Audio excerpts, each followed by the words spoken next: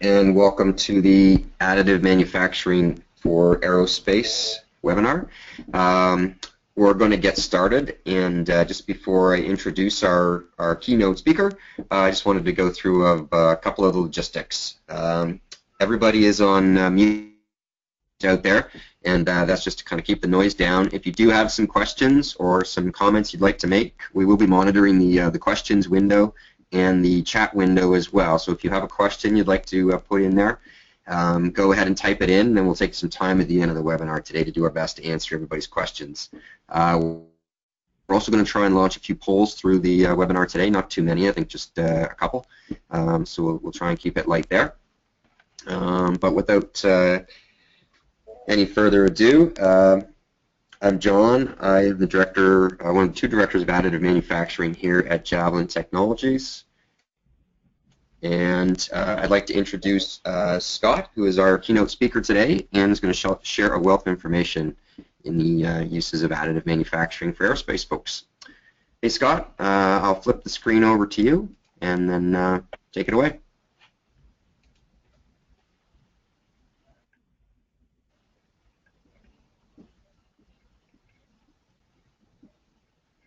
All right, are you guys able to see the slide I have, or John, can you see that? Scott, I can see your, uh, see your slide perfect. You're looking good. All right. Uh, hello, everyone. Uh, my name is Scott Sevcik, as John said. I am uh, the leader for aerospace and defense business development for Stratasys. I work in what's called our vertical business unit, uh, which is a group that was founded about a year and a half ago as we started thinking more deeply about um, the transition that was happening from rapid prototyping into manufacturing. And what we realized at, at that juncture was that uh, the way we uh, approach uh, the markets is different. In rapid prototyping, you build a solid rapid prototyping system, and uh, that same system can be used across uh, a number of industries because the application is the same, the, the prototyping is the same. But when it comes to manufacturing, how you manufacture a part for automotive versus how you manufacture a part for, part for aerospace or a medical device, all of these have their own uh, intricacies intric in different subtleties. So um, the realization there was we needed to look outside and bring in people who understood those industries because they had lived and worked those industries and really start to internalize that sort of experience. Um, that's how I joined Stratasys. My background uh, is in aerospace engineering, uh, bachelor's and master's degree uh, in aerospace engineering. I started my career with Lockheed Martin, working primarily on the defense side and primarily on, um, on the missile and spacecraft side. And over the course of my career, I had transitioned into more uh, aircraft roles, and then ultimately from the defense side at Lockheed Martin to uh, the commercial side, uh, going to Goodrich, which later became United Technologies Aerospace Systems.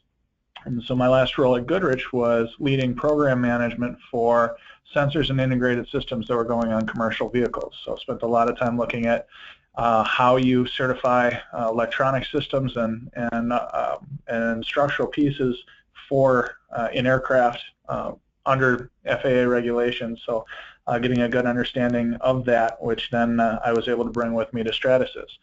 So about a year and a half here at Stratasys, um, leading aerospace and business development, and it has been an incredibly uh, uh, fast-moving, uh, fast-paced, and, and, interesting year and a half. And I'll share with you as we go through here some of the uh, the specific things that we've been able to to make public and uh, the specific things that we've been able to really drive forward uh, within the industry. So I'm going to start with the assumption that uh, everyone on the call here has uh, a basic understanding of what 3D printing or additive manufacturing is. Uh, sometimes in a longer presentation I'll go through a couple of different types of, uh, of additive and, and what the various benefits of them may be relative to each other. Uh, but instead of that I'm going to dive right into the benefits of 3D printing on the whole for the aerospace industry. So to start with that, uh, design freedom. And design freedom is something that has always been there with 3D printing, but when you are prototyping something that is going to be manufactured a different way, uh, you have to kind of set that design freedom to the side a little bit. You've got to be able to uh, constrain your prototype to something that can be manufactured by another means. If, however, you break that assumption and you realize uh, there are materials here that can be taken to production, um, that design freedom becomes an asset to the part you're producing. You can start to create incredibly complex shapes uh, where you are taking uh, whole assemblies and consolidating them into a single part. Uh, you can start thinking about shapes differently. Uh, walls don't necessarily need to be a consistent thickness. Holes, if you're not drilling a hole, a hole doesn't necessarily need to be round. So teardrops and other shape holes have, uh, have become um, uh, more common within parts that are additively produced, and, and those holes don't need to go straight like a drill bit either. They can uh, have more of a tortuous path um, simply because that's what the designer is looking for or needs. But it's not only the fact that you can create a part that you couldn't create before, but also the fact that where and how you create that part can change as well. Um, by transforming the workflow, uh, you're able to look at things um, in a way that you weren't able to before this. So uh, a lot of times in my background in aerospace, you make a, a make-buy decision uh, early in the, the design cycle. You determine what it is that you're going to make, and then you have to make a decision that lives for the life of the program, whether it's something you're going to make or buy. Uh, when you have flexibility in your supply chain that additive can bring, um, that can change to a procurement by procurement basis. This time I need these parts very quickly. I'm going to um, I'm going to print them in-house. Um, this time I have a little more time. I'm going to go outside to have them produced and so forth. And where aerospace really gets a lot of benefit from this is when you start to think about uh, long-term sustainment and the aftermarket.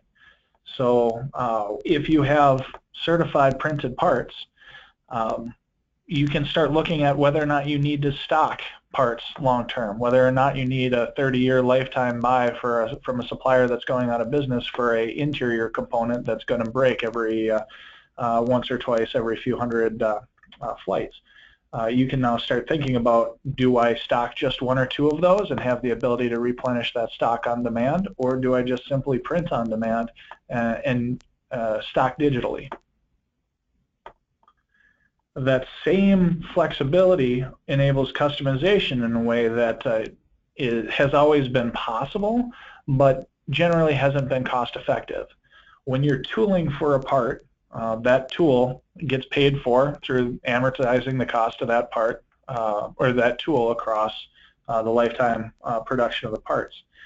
If you're not paying for tooling, which is the case in additive, if you're just producing that part, uh, building five slightly different parts costs exactly the same as building a, a single part that's exactly the same five times. Uh, what this has enabled is, um, for example, a business jet uh, provider that we've worked with looking at being able to fully tailor an interior. So uh, a lot of times there's stock options. You don't really want to move the height of the galley counter, for example, because that's going to have ripple effects through um, the structure, the bracketry, the, the ducting, the uh, uh, electrical lines, everything. There's going to be uh, significant ramifications for something as simple as moving a galley uh, table height. Um, but if all of those parts are printed, or if you have the ability to print those parts, then that's no longer an issue. This aircraft just needs a slight modification, and you print the parts a, a slightly different way. Uh, it also opens up things like um, embedding a, uh, a corporate customer logo into a panel, things like that, things where it would be very expensive to tool for, um, but you get the benefit of that differentiated experience. But now getting into more specifics. So aerospace applications. Uh, starting with Stratasys and, and, our interaction with aerospace. Uh, this is by no means a linear timeline. You'll see uh, uh 20 years pass in the first inch or so there. Stratasys was founded, uh, as were a number of uh, elements that are now part of Stratasys, such as Solid Concepts and Econolens. Um, all of those business units started between in the 80s, 90s, early 2000s, uh, and throughout that, aerospace had become a strong early adopter of uh, prototyping with additive. Uh, but then we get into that 2007 timeframe where we start moving into serial production. So reaching AS9100C certification at our part production uh, facilities and starting to print parts uh, for Part 23 and Part 25 aircraft. other engagements then followed. In 2011, what's now Stratasys Strategic Consulting was working with Boeing and Virgin Atlantic on projects. In about 2012, uh, the core Stratasys team uh, started our first deep engagement with an aerospace OEM in Europe. Two years after that, we were delivering a certified material to Airbus. Um, that was uh, one of our first material specifications that we wrote with the partner, and now there are uh, uh, there are eight customers or companies that have uh, material specifications which we deliver Ultem 95, 9085 against. That specific Airbus example then led to um, Airbus taking a additive, uh, specifically FDM Ultem 9085 solution to the A350 type certification. And A350s were delivered with printed 9085 parts starting at the end of 2014 in 2015, uh, we were accelerating on that. We got to announce what was done with Airbus. We got to start talking publicly about um, the multi-year relationship with United Launch Alliance because they were going public with the fact that they were now printing uh, flight hardware for rockets. Uh, and then I'll touch on this a little bit later, but we also, working with Aurora Flight Sciences, un unveiled a fully printed or near fully printed um, jet uh, unmanned aerial vehicle, which was uh, quite far beyond what uh, people believed uh, that could be done with additive at that time. So looking across uh, our customers, both on a part side and on a machine side, we know of uh, a wide variety of applications on different types of vehicles. Uh, you'll see uh, with some helicopters and UAVs, a lot of those parts are with laser sintering. Um, they were adopted uh, quite early before the, uh, the more advanced materials for FDM had been introduced. We're now seeing a lot of shift there as, as FDM's larger sizes and, and uh, uh, very highly performant materials uh, become uh, good options for replacing laser sintering in some cases, but really more than that expanding the, the application space that's available. Uh, you can see across the large aircraft, uh, what we're talking about mostly uh, today is non-loaded uh, interior components, customized pieces, uh, low volume um, sort of uh, equipment. that's that's expanding quickly, and we're seeing a lot of variation and a lot of interesting ideas from our customers. particularly ULA and other space customers are coming up with some very creative uses of the technology that that really we didn't see. Uh, the other thing I'll mention on this is there's a couple of little green lines here pointing to some metals applications. Um, there is a ton of interest in the aerospace industry in printed metal. Um, a lot of that is around the powder-based um, uh, products that have been out there for a while. Uh, and now there is more interest in some of the wire-fed larger scale uh, processes for more structural parts. Uh, what we're seeing though is understanding um, the, the physics behind what's happening and being able to certify that uh, there's a lag. So FDM, um, laser sintering for plastics have been around for quite some time, and that's had the opportunity to mature and be accepted by industry. There's a lot of money and a lot of effort going into understanding what can be done with metals, uh, but truly it is lagging. There are only a handful of applications flying uh, for printed metal parts. That's going to increase. It's going to increase rapidly, um, but uh, but right now uh, the thermoplastics uh, have a unique place. I think that also dovetails with the fact with uh, aerospace has spent the last 40 years taking as much metal out of an aircraft as possible and replacing it with composites. And I think they're going to continue to do so, where you can topology optimize and where you can take weight off by changing the structure of a metal part. Um, that's a, a, weight savings. But where you can take that part and, and go from a, uh, a printed metal to a printed, printed composite or a printed plastic, I think you're still going to see the trend continue in terms of uh, taking metal off of aircraft and, and pushing uh, the weight uh, lower and lower. Flight parts are phenomenal to talk about. They're exciting. Uh, it's great to see what we're doing. Uh, the reality of our customer base is the money they're saving is happening on the factory floor.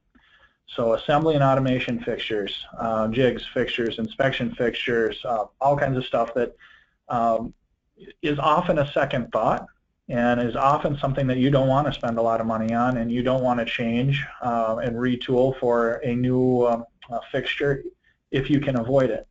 Uh, so it ends up being a really, really nice fit for additive because you can really embrace the continuous improvement, Lean Six Sigma sort of mindset when you have the ability to look at your process and I identify how to make a tool just ideal for that process. And then if it's not quite right, just change the tool and continue that process of, of continuous improvement.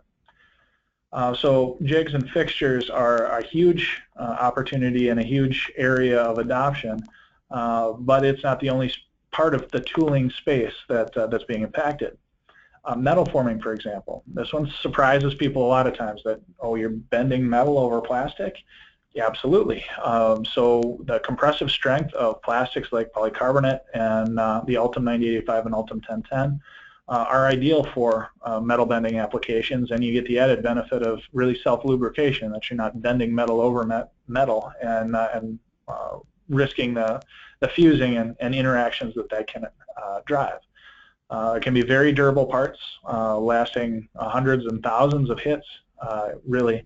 Um, but even more interesting are the custom applications. The ability to create the exact part you need because you can create the exact tool you need to bend that part. Thermoforming, similarly, very interesting uh, because there are materials that are uh, uh, high temperature enough to withstand the process very effectively and even more so, you can avoid vent holes and the kind of compromises that happen with thermoforming tools um, because with a printed part, you can control the porosity. We have complete control over the tool paths. So you want to draw vacuum straight through the part. You design the part to pull that vacuum straight through, and you can get an excellent drawdown uh, as a result without having to deal with uh, uh, any marking from vent holes more specific example around inspection fixtures. Uh, this is uh, something that looks pretty basic, doesn't look like there's a lot to it, um, but it does have a, a complex curve on that, uh, that surface that's interfacing the, uh, the product. Uh, producing these parts costs $30,000 in 40-day lead time. Being able to go to a printed tool uh, saves um, phenomenal amounts, both in terms of time and money. But what I think is even more interesting as part of this story is CPI was looking at ramping up and adding tools, uh, what they could do uh, because of the design freedom with uh, the printed tool, they were actually able to add additional measurements to the same inspection fixture. Um, so they were able to uh, produce a better product, a more thoroughly inspected product, um, because they were able to uh, uh, take in a different approach with tools and get the time and cost savings uh, in tandem. I touched on the metal forming. There's a specific example around that too. The Navy uses uh, polycarbonate uh, printed tools for custom repair. This example was a Harrier that uh, had a landing gear failure and they had the ability to land the Harrier on a table which saved the vehicle, saved the pilot, but uh, did cause some damage to a structural member in the front uh, of the nose. So they were able to very quickly print the pieces that they needed in order to, uh, to shape the L and Z uh, shape pieces that you see in the top right there and produce uh, what they needed to do to get a aircraft airworthy again within a week as opposed to having to look at uh, what normally would have been about a two-month time and you think about the size of a uh, of an FDM a printer, three feet by uh, two feet by three feet, it's pretty large, but uh, by no means this large. Uh, yet tools often are. Uh, this tool is printed. It's printed in a number of pieces and then joined together end to end to create this large piece. Uh, it is being held here by two guys, and one of them smiling, so we know it's not that heavy. Um, but what it replaced was an aluminum tool uh, that needed to be crane lifted. So uh, there's a significant reduction in uh, work, uh, workflow disruption with uh, the ability to have a much lighter tool uh, as well as lower risk. plus they could create a very complex geometry for this, use it effectively, and if they needed to change, if they needed to produce a slightly different tool, they would have the ability to go and do that without the, the expense of um, replacing this tooling in the traditional fashion. Composites is another space, um, both from the, the same idea as uh, metal forming in that you can create a very customized shape for a repair tool, uh, but more broad than that. Composite layup tools with Ultem 1010 can go into a 350 degree Fahrenheit cure cycle in autoclave uh, without deformation. It has a very high uh, heat deflection temperature and is able to withstand um, those sort of environments. Uh, soluble materials uh, used for sacrificial or washout tooling, creating those complex additive shapes for a mandrel in order to hand layup or, or wire um, or filament wind uh, the part, uh, and then dissolve out that core and get an additive shape without seams uh, from a traditional composite. And then you look really across the process. You can look at net-shaped cores. You can look at layup tools, trim tools, all coming off of the same geometry in order to produce that part. Uh, one area we've done this is with a business jet uh, manufacturer who is looking at going from an aluminum aileron to a uh, carbon fiber aileron. Uh, they came up with a rather complex tooling approach.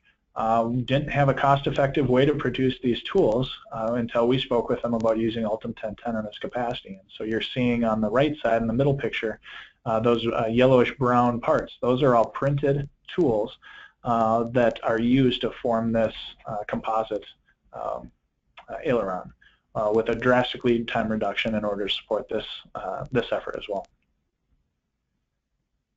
course, uh, can't not talk about the Airbus story. So last year we were able to announce that uh, the A350 had type certified with printed parts uh, included as part of that certification. And the first several A350s were delivered with a number of printed parts. Uh, this was enabled by working for quite some time with Airbus to ensure that uh, we had a material specification agreed that we could deliver material certified against that Airbus had a process specification that they could trust to repeatably produce parts. Um, and that really was opening the door here for Airbus to do this. Um, certainly this announcement really dates back to the end of 2014. I'm looking forward to opportunities to share more about where Airbus is going with this, and hopefully we'll be able to do that soon. Uh, but I think you can uh, very quickly just start thinking about uh, where this goes. If Airbus has um, the ability to include printed parts in their type certification, what's the impact on the A350's uh, aftermarket supply chain for this? There's, there's a lot of implications here, and it's been a, a very exciting um, uh, story to be involved in. Same with ULA. Um, there's a video link on the bottom of this if you want to scribble it down quick, or just on YouTube, uh, type Stratasys ULA. There's a very interesting video on there where we have United Launch Alliance engineers talking about this duct that you see on the left side and, uh, and what that meant for them on this vehicle. So they're looking at an existing designed vehicle and having such a strong business case that it made sense to forego existing tooling, a sunk cost in qualification, and requalify and fly uh, printed parts because they were 60% um, cost reduction. And you were taking 140 components into 16 and eliminating all of the labor and all of the risk associated with uh, with building out um, the traditionally manufactured parts, all for an ECS system, just blowing cold nitrogen, um, and and it had a significant opportunity for them to uh, move from metal into plastic uh, in a much, much more elegant fashion. There will be another video we, uh, we share from ULA coming up in about a month here. It's in final review at ULA, and that's going to be a, a, really interesting one for a lot of people as well because it really talks about the whole picture. ULA started out with uh, uh, trade show models, printing trade show models. And then they went deep into tooling. There are 300 some tools that they use uh, for manufacturing a rocket today that are printed. And now it has shaped their thinking on flight parts for the existing family of rockets and even more so on the next generation uh, Vulcan launch vehicle. Uh, there will be a dramatic increase in the number of printed components on that vehicle. Similar to Airbus, this came about because we worked with them on developing material specifications and process specifications to enable them to have the confidence in uh, both the material and process that they needed to support an aerospace quality management system. One metal part I'll show is uh, this um, part from Orbital ATK. It's a titanium bracket. They were clearly designing for minimum weight. They took every last um, gram of titanium they could off of this part um, for that, uh, that weight savings. And as a result, you get to a very complex shape, which becomes more economic to build from the bottom up rather than to, uh, to hog out out of a piece of titanium. This sort of geometry, um, certainly in this example, it's, uh, it's a metal application where they benefit, but it's the same sort of mindset in the plastic applications as well. Where you can take weight out, uh, eventually you get to a complex structure that is more effectively uh, produced additively than subtractively. So we're going. Uh, a couple of things here that have been new for us uh, really over the last couple of months, and this one became public just last week. So uh, we have a capability within Stratasys to uh, develop custom materials. It's our Advanced Material Center um, that does this, and we've been working with them um, internally uh, around customer needs. And one of them stemming from the aerospace industry was uh, we need a, a, high temperature material that is also uh, electrostatically dissipative. Uh, hearing that question come again and again, we engaged the Advanced Materials Center to uh, work a formulation to support this. Uh, NASA has parts going on the ICESat-2, or actually they're already on uh, the ICESat-2 satellite, which will be launched, I believe, towards the end of this year, that are produced with this material. Uh, it's a PEKK uh, resin uh, that has carbon nanotube filler to support electrostatic dissipation. Uh, that's the same approach we take with our ABS ESD7, so a low temp electrostatic material. Um, but with the PEKK resin, we're able to get Ultem 9085 level strength and chemical resistance beyond anything that we've ever uh, uh, ever offered um, before. So this is really a, a, test material. This is something that we've seen interest from the aerospace industry in. We had aerospace partners uh, engage in this, provide the requirements for this, and we now offer it as a special order to those customers um, that have uh, have participated in the development as well as others that are interested.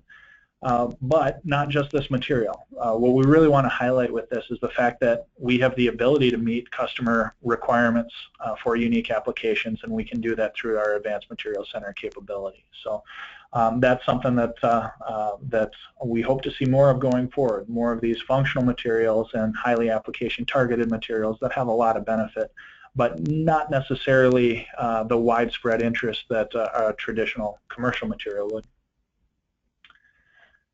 On last topic here is optimized structures. I just mentioned that little uh, blurb earlier on a printed UAV. Uh, this is another one that comes with a really good video. Uh, link is here. It's pretty easy to find through the Stratasys website too. Look for aerospace and then there's a UAV video here. Um, and it's interesting. It's, it's great to hear Aurora Flight Sciences talk about how we worked together in order to accomplish this. What they wanted to do was prove that you didn't need to produce a generic vehicle that could meet all mission requirements. It would be effective with additive to target a specific application set or specific requirement set and customize a vehicle to be ideal for that, uh, that specific mission. Um, and that's what we did. Aurora determined uh, against a requirement set what the uh, outer mold line should look like. We then topology optimized uh, the interior to produce a stiff, very lightweight vehicle uh, uh, that couldn't be produced excuse me, couldn't be produced traditionally. It needed to be additively manufactured to get to the weight targets that we were looking at. So that flew in uh, September of this last year, and that background picture is, uh, is the vehicle itself in flight. What this vehicle looks like internally, though, is, is rather interesting. It's very modular. It's uh, fairly simple uh, not a lot of different parts. Uh, the bulk of the vehicle was produced uh, with fused deposition modeling, so the body of the vehicle is ASA, as were the wings. Uh, we uh, uh, used Ultem 9085 for a couple of parts that needed to carry a little bit more weight in the, in the landing gear area. then we used Ultem 1010 for a hot section on an exhaust cowling, which actually covered a printed Inconel 718 thrust vectoring exhaust nozzle which sat inside a uh, uh, laser-sintered nylon 12 conformal fuel tank uh, just behind the, uh, uh, the turbojet engine. So you look at this vehicle and flies 150 miles an hour. Theoretically, it could go about 215, um, but we don't want to push that. so we've we've limited ourselves there to something that's that's more than fast enough. Uh, and what's interesting for me here, though, is that we have a 30-pound UAV. Uh, it's 3 meters in wingspan, 9 feet across. and 24 pounds of those 30 are all printed. The, the remaining six pounds are that turbojet engine in the center, as well as uh, the wiring, uh, battery, uh, servos, and, uh, and the landing gear. What this means, though, and this is what AFS, Aurora Flight Sciences, talks about in the video, and that's that's a quote from an individual there. Oh, this is going to flip on me. Is that um, uh, they were able to cut the design and build time of the aircraft by 50%. So you look at a traditional manufacturing program and you're looking at tooling and procurement, subassembly and final assembly, and you're not going into even tooling and procuring parts until you're confident that you're going to get it right because if you get it wrong, you're going to be modifying or replacing that tooling and that's, that's a waste of money what we were able to do with this is move very, very quickly from uh, design to print because if we got it wrong, we just printed again. We didn't have that cost of tooling engaged. So our longest lead time on, uh, on any of the major components in the vehicle was nine days. And that's not nine days of labor, that's nine days of a printer running to produce that large fuselage that's essentially the full volume of a Fortus 900. The uh,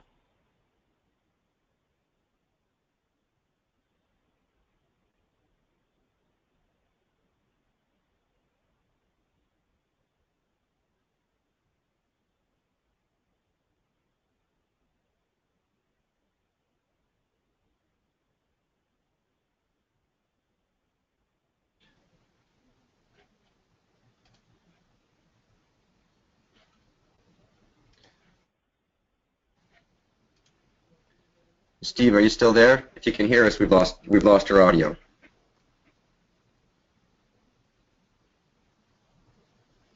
Steve? Uh, if anyone out there can hear me, maybe just let me know.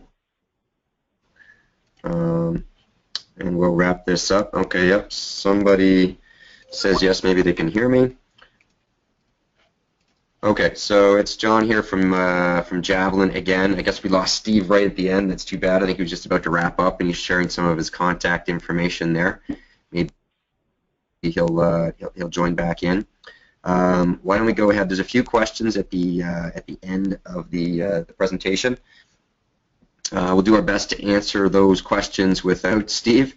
Um, I may be able to come from the aerospace industry myself, so I might be able to uh, answer a few of those. And then we do have a few polls we'd like to run. So maybe we can get some of the polls going while Steve tries to get back in. Um, Aaron, if you wouldn't mind just running one of those. One of the polls is, uh, you know, if you're brand new to 3D printing, we have an introductory hands-on course. Um, if you think you might be interested in coming in and trying to understand what 3D printing is all about, spend some time hey John, um, looking at parts to understand what. Oh, there's Steve. Perfect. Um, Steve, just running some some polls, and then we've got some questions for uh, for you as we get going here. Sure. How um, far back? How where was I at when I dropped off? You were just you just flipped over, or just about to flip over to your contact info. So I think we got we got most of it there. Um, so we're just running a couple of quick polls. If people could go ahead and fill out the poll question on um, on the training course, if you're interested in just a one-day introductory course that'll help you understand what can and can't be done with the printers. Um, we'll go ahead and uh, Aaron close that out whenever you think uh, we're We've got um, most people there. And then I think we've got one uh, one more poll that we'll run, and then we'll flip over to the questions. Just help us get an understanding if you've got some interest in the different uh, applications, which applications are uh, are of interest to you. So we'll let you fill that one out. And then, um, Steve, maybe uh, I don't know if you can see the questions there, but I'll, I'll run through them. So one of the questions is, you know, what different materials can you print with? Uh, sure. So the um, actually, you know what? I uh, oh, I'm not sharing anymore. Okay. Um, the the variety of materials for FDM is pretty broad. Uh, what I see most used in the aerospace industry uh, really is the Ultem 9085. Uh, it's a polyether material. It's custom blended for flame, smoke, and toxicity properties by GE a number of years ago, and that that's now uh, a formulation owned by SABIC. Uh, Ultem 1010 is a pure polyether imide, uh, also meets uh, flame smoke tox properties under most conditions, also has some added benefits around being uh, um, biocompatible and, and food safe. Uh, we also see with um, uh, with some of the applications where the heat deflection temperature doesn't need to be as high. We see use of um, FDM nylon 12, um, then um, uh, PC polycarbonate and an ASA material as well as an ABS. generally not flying for those materials because of the, the inability to meet a flame, smoke, and tox requirement, but very common for our tooling applications, are ASA, ABS, and polycarbonate. Great. Here, here's another one, um, and just knowing maybe a little bit about the companies that are that are on the call here. The same person asked a question about the accuracy and tolerances that we can hold, and uh, you know I think there's a general answer maybe you could give us, and then maybe you could also answer the question from a composites perspective relative to the different materials that we could print with that might be um, appropriate to uh, to print form layups. Sure. Uh, well, I'll take the composites one first. That's something that uh, uh, we have an engineer working feverishly right now to finish up a composite tooling design guide.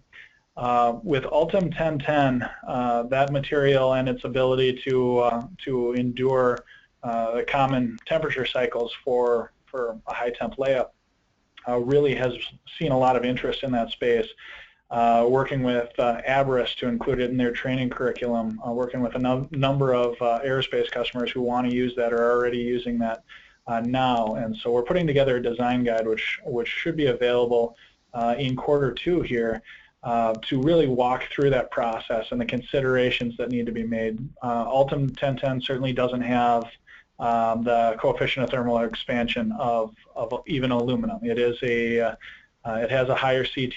There is a little bit uh, more that needs to be considered in terms of deformation as a result for a very long period cure. Um, um, but really, there's a, a, number of applications where that is a really good fit. Uh, lower temp, uh, we've seen Ultem 9085 used um, in in some uh, some lower temp cure applications. Um, I think that's about the lowest that uh, that we've seen much significant use.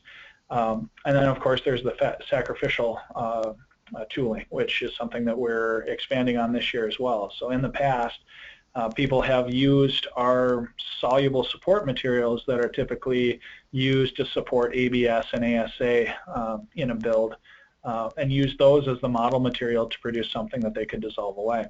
Uh, that works, but it's kind of an off-label use of the machine really traditionally. So what we've done is taken that same material and uh, tuned uh, a software settings for the machine so that we could uh, really control better the, the geometric, geometric um, uh, accuracy of that part uh, as a model part and not really as just uh, a support material sort of approach. Uh, so that's something that we've also got targeted for some more information release mid-year uh, and there's there's some some advanced information that we'd be able to, to get you so that as it's coming out you guys can be aware and and able to pick that up quickly.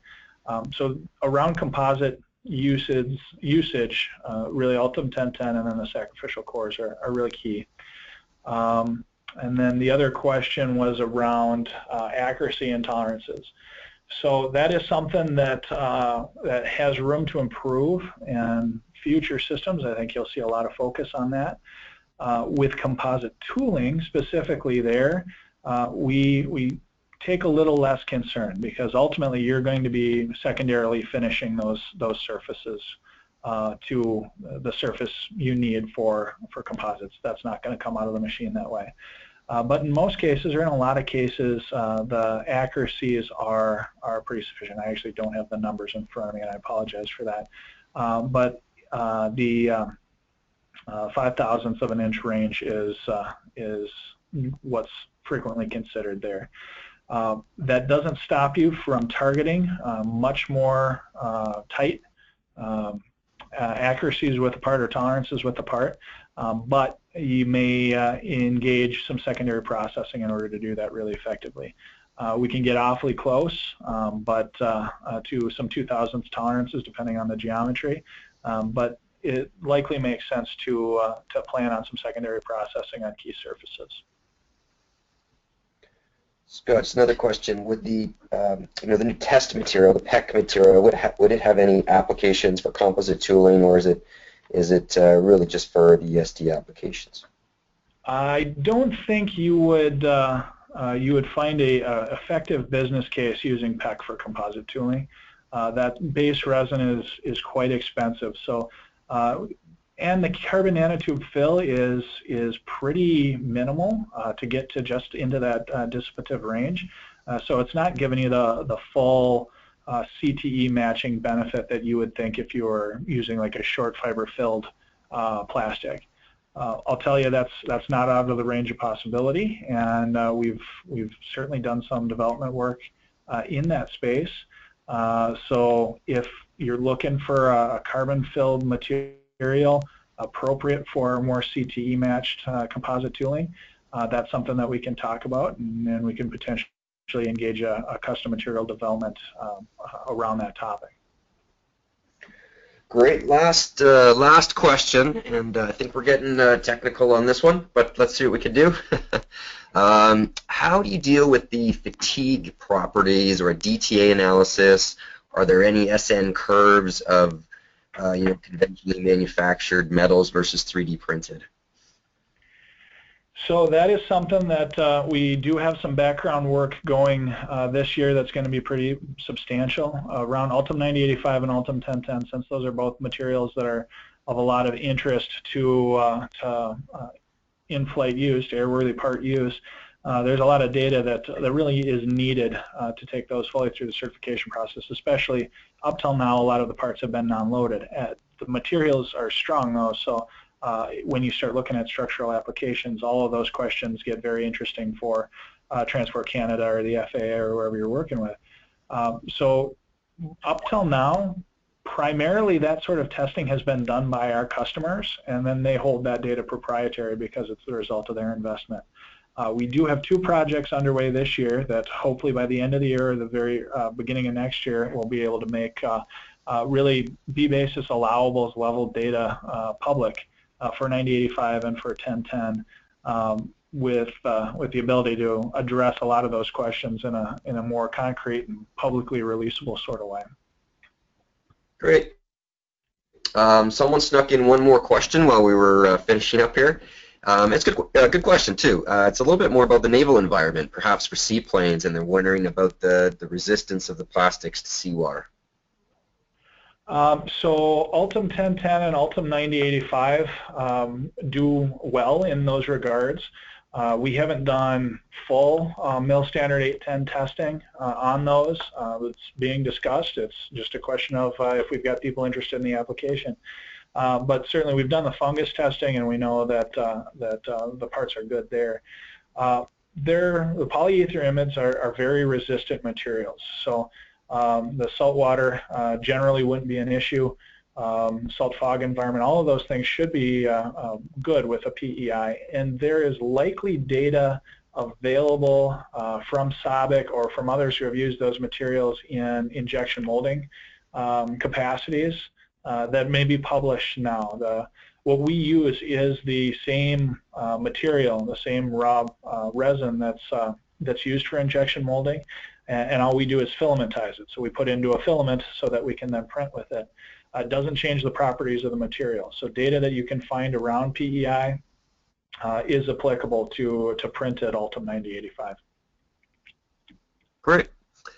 Hey Steve, thanks so much. It's been uh, it's been a great amount of information. Uh, hopefully, it's been uh, it's answered everybody's questions. We have one last poll that we're going to run, and then a bit of a wrap-up slide. We're just about on 45 minutes where we want it to be. Maybe uh, Aaron, you could run that last poll, and uh, and then we'll wrap up.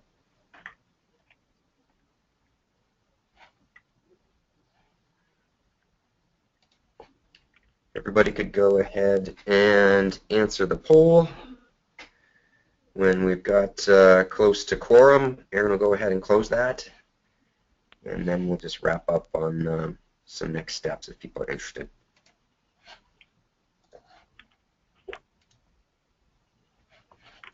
Perfect. Um, I know that Steve had um, his contact info up there, but uh, if it's a little more convenient for you, here's uh, my contact info as well. We'll be reaching back out to everybody on the webinar just to uh, to make sure that we're, we're touching base and that it, it met everybody's expectations. If you want to learn some more, uh, there are more. There is more information. So we, we have material data sheets, and I think Steve made mention of some other manuals that will be available. If you'd like to have some eViz access to those types of things, let us know. If you'd like to have just an introductory phone call, or if it makes sense, you know, we even have um, Steve come in for a bit of an on-site applications assessment. Those are all sorts of things that we'd be uh, happy to to organize on uh, on your behalf. And with that, uh, I'm going to say thanks to everybody out there for joining us. Um, I hope the information was good, and enjoy the rest of your day.